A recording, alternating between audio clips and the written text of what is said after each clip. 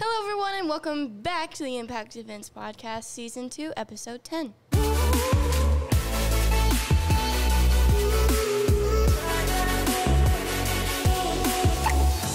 In this episode, we're going to be talking about the four main reactions to self defense situations fight, flight, freeze, and fawn. We, we had said that we were going to do this, come back and said this would be a really good episode all into itself. So mm-hmm. we decided that we are going to make it We're right all now.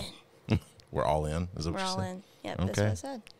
So for the sponsor for this episode is Atomic Bear. They make our absolute favorite, without a doubt, tactical pen, the Stealth Pen Pro.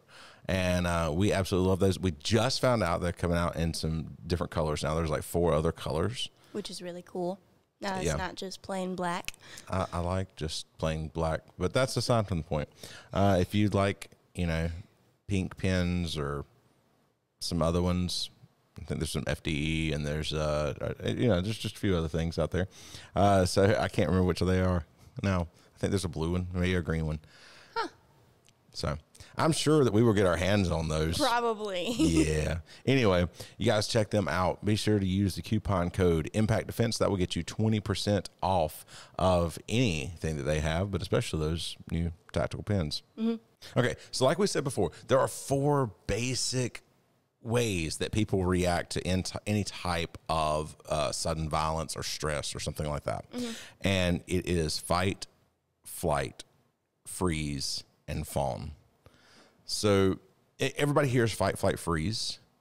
Uh, but really, the phoning really is and does deserve to be in that fourth spot there because there are things like that. People have natural kind of inclinations to do that, but you can, with training, work past those. Use the best things that whatever you've got naturally, and then work past those uh, to to become better and be able to kind of make the switch in anything. Because depending on the situation, you, you have no other idea. Like eh, one situation, you might could phone your way out of it, but the next one you might have to fight your way out of it, or the next one you might just have to run. I've Freezing always- is very, very rarely the best thing to do. Yeah, right. I've always thought that fawn was just like a, I don't know, is it like a baby deer or something? Yes. I just always thought that that was just what that word was for. And then now we're doing the podcast, and now he says phone, and I'm like, what? no, not phone. That's what you're looking at Oh, for your notes. Fawn. Whatever. Let's start at the beginning. Fight. All right. So, you know, if you have that natural fight reaction, then what we're going to have or what you're going to experience is this surge of adrenaline.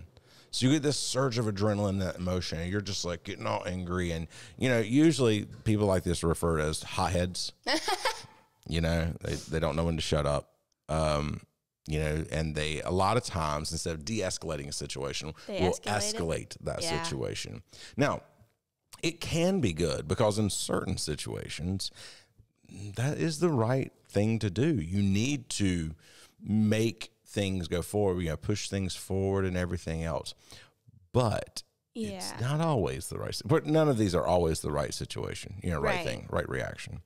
Um, so basically, one of the things that stress training will help with this is it will help you kind of control your aggression and also your decision making in that moment.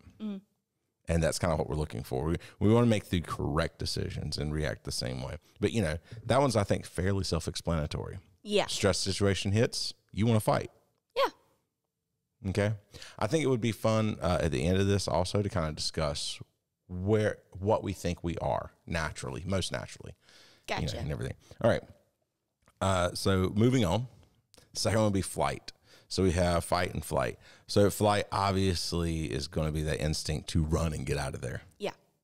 Yeah, it's just to kind of save your butt and get out of a threatening situation Which, in any way you possible. know, it's kind of what we aim for in self defense yeah, well, we're trying to, to run away. We do something and then run away to a safe place. right, but if you make that decision at the wrong time, Sure. you could be in a bad situation. You know, you mm. might want to think about maybe not just running away at the very first part of it, because mm. running away at the very first sometimes may not be the right answer. Again, it's making the t- the correct tactical decision. Mm-hmm. That is kind of we need we need to make sure that we are thinking things through.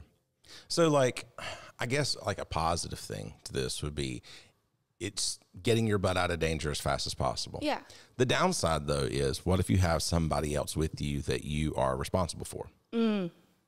Or that you just want to make sure that they get out, but you're you just run and then you forget in that moment because of you know panic and everything else hits and that instinct hits and you just kind of like bolt and then all of a sudden now you've left people that you care about to deal with whatever situation. And that's not you know Right, it's that, not- that wouldn't be the best thing. so the thing that we go back to there would be like some type of stress training. Mm-hmm. you know uh, we're, you're going to hear that every one of these because normal self-defense training does not cover a lot of stress training. Right. but that stress training is going to help you tremendously uh, to know how number one you deal with these things and number two to you know deal with them and make better decisions when you need to deal with them so in the situation where you know we might be in a bad situation let's say i was naturally inclined to run and I boom, I run out the door and I leave you, my daughter, there.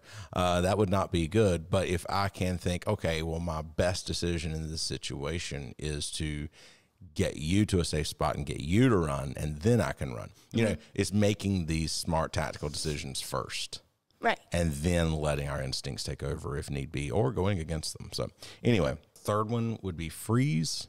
Which is the thing that we never really want to get in. Yeah, pretty much. I guess the only time it would be best is if you are in a, you happen to already be in a safe place Yeah. behind cover. If it's after the fact a little. or, I mean, not even after the fact, but let's say you're kind of, kind of just happen to be hidden. You're behind cover, you know, and then you freeze. It might be the best thing for you, actually, in that situation, to mm-hmm. just kind of stay hidden, you know. So that that may not be horrible.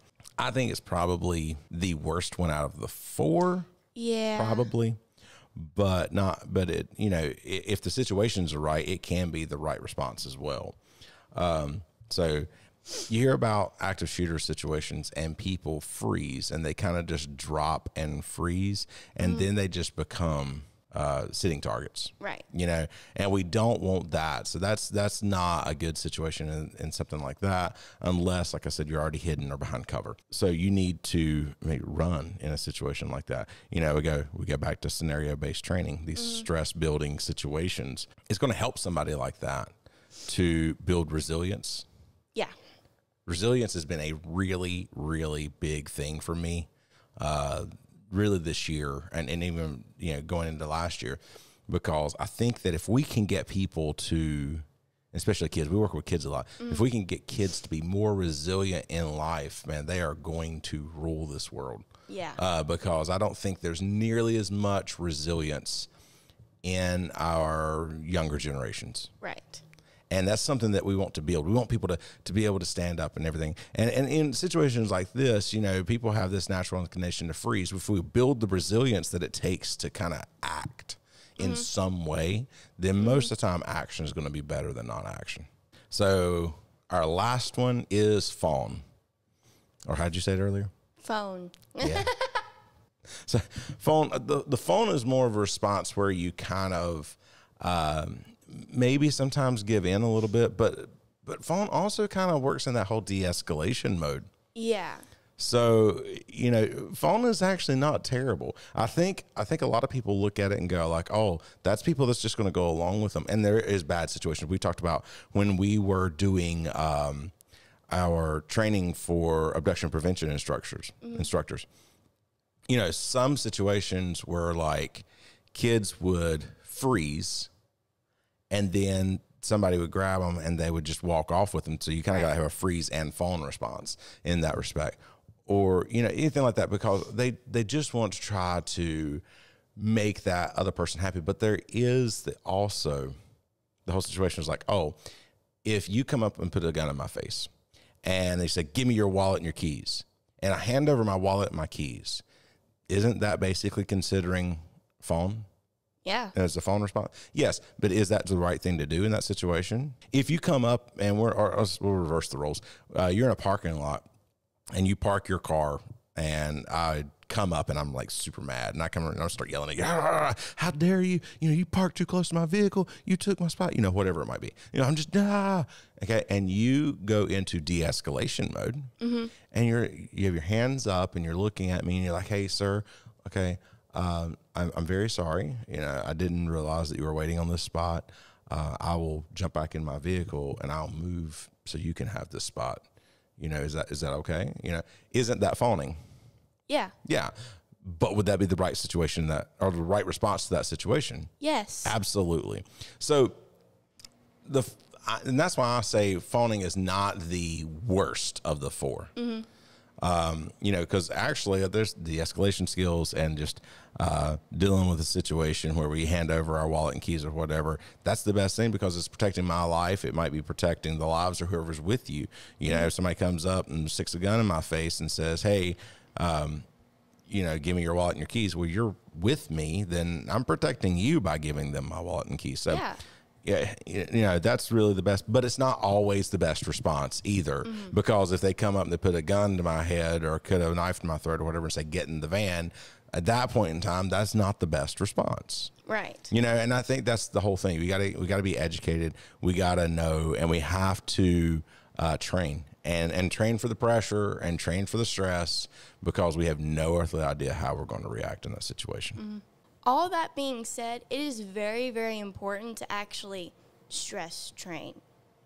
Oh yeah, absolutely. Yeah. Scenario based training. That's something you can bring up, uh, and just you know doing things that scare you. And a lot of the stress training can actually build you up as a person. I mean, Oh, it can help with whenever we're doing scenario drills Mm-hmm. and everything. And uh, just doing, generally, just doing things that will scare you Oh yeah. and just do those things. Yeah. Yeah, we've talked about that before. Um, you know, I'm not the biggest fan of heights, but we've done indoor rock climbing. Yeah. you know, uh, I'm trying to think. You don't like mud, but we've done these uh, these muddy 5Ks. You know, we do Yeah. you know do things that are hard. we do things step out of our comfort zones to uh, build us up as a person. Yep. I mean, you still, even though you kind of got off the circuit and you don't compete, you still compete once a mm-hmm. year, really, at one tournament, Yeah. just to kind of keep yourself outside of your comfort zone because really that stopped being your comfort zone. And the mm-hmm. stress and everything started to get to you, and everything that was part of the reason you quit. And I think you just kind of lost interest in some things, but still putting yourself under that stress of going out and competing and being judged and everything mm-hmm. is still something that kind of pushes you outside of that comfort zone that really helps you as an individual and kind of building that resilience and everything mm-hmm. that like we talked about. And a lot of times I, I, I hold myself up to like a certain standard. And if I mm. don't meet that standard, then I feel bad. Man, I wish I knew where you got that from. Um, totally did not get that from my father. No, but yeah, I, and that's that's another thing. Know, kind of performing to the level, and we discussed that uh, what a few weeks back when we had Tim on the podcast after we went up there and trained with him. yeah. You know, um, I tried my best. But Just kind of speaking of that for a moment, we went up there to that room clearing class, and I tried my best to make sure that I had I had a realistic idea of what I was going into. I'd never done room clearing before. This was the first time I've done room clearing stuff. So, kind of getting into uh, a room clearing class and kind of doing what I knew was going to be force on force, I knew I was going to have ups and downs. Right. You know, I knew I would be on the losing time, uh, losing team at times. I understood that. The whole goal was that, you know, I wanted to have a kind of a real, realistic level of performance. And I did that pretty well because I walked in going like, yeah, I won some, I lost some, blah, blah, blah. It's probably about 50 50 by the time the, the day was over. And uh, that, under the circumstances, of not doing anything like that before, yeah, I'm pretty happy with that. It's a little different for me because in some situations, like tournaments, I have a standard because I've done that. I've done tournaments before, so I have a standard to myself, and it's like a kind of a pride thing. Yes. You know? Yes. But as people continue to compete and practice and drill and everything, and you say, Oh, I'm going to do a tournament. Let me practice for three days. and go up against all of these people who that's all they do is train to do this. You have to ha- set a realistic standard. okay. It's either train more or expect not to do all that well. Yeah. I say that, but she actually trained three days and she did rather very well, actually. But it's like with the with the whole pistol stuff with Tim that we went through, I was expecting like a whole lot worse. But you know, whenever I first went in there, I thought there was going to be more girls, but it was just me and Jada, you know. Oh. So then my expectations for everything went way down, and there was a whole lot of people in there. And also, whenever it came to the shooting, I had to shoot twice, so automatically I thought, oh no, I failed. so there's like some things where it's just like I hold myself up to a standard, then some things where I'm just like expecting the worst. Yeah. No matter what, you want to put yourself in these types of situations. Uh, put yourself in some situations that are safe, but that will stress you out because it will help you to mitigate that fight, flight, freeze, or fawn response. Because once you understand that you can control how you feel and your stress initial reactions and you can work through it, then you can do so much more than most people think you can do. And that's kind of the idea, even when we're doing stuff like, hey, you're going to go take a pistol class and it's going to make you really nervous. Or, hey, you're going to go and compete for a weekend. Uh, or, you know, whatever. Hey, I'm going to go indoor rock climbing and be scared as I'm like, you know, 20 feet up in the air or something like that. But it, at any rate, uh, the big deal is that we make sure that we are doing things that kind of push us, keep us uncomfortable because the more that you do things that can push you and keep you ourself uncomfortable, the better you are equipped to deal against your natural inclinations. Mm-hmm. And, you know, it's amazing how that kind of stuff bleeds over. All right, if you enjoyed this podcast, go ahead and like, subscribe, and click that bell notification. That way you get notified anytime we put out a new video or podcast. Don't forget to go over to theatomicbear.com, check out their tactical pins and other stuff that they have over there, and be sure to use the coupon code Impact Defense, gets you 20% off again. Thank you very much. We'll see you in the next episode. See you guys.